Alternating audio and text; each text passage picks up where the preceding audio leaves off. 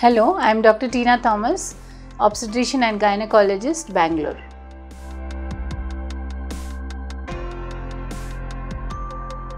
At 9 weeks anyway there is no fetal movements. So there is no question of fetal movements or anything at that point of time at all. At 9 weeks what a pregnant woman can have is she can be lethargic, there can be some dizziness, most common is nausea and vomiting. So these are the some symptoms which can come up. All pregnant women do not have symptoms.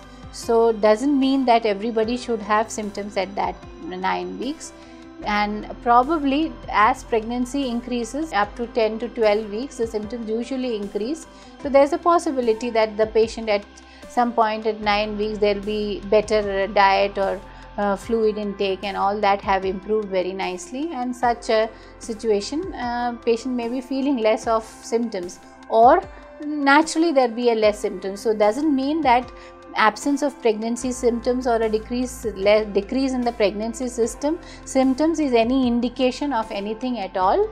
Definitely we have to at 9 weeks reconfirm with a scan. Nothing else to prove that baby's heartbeat is good and everything is good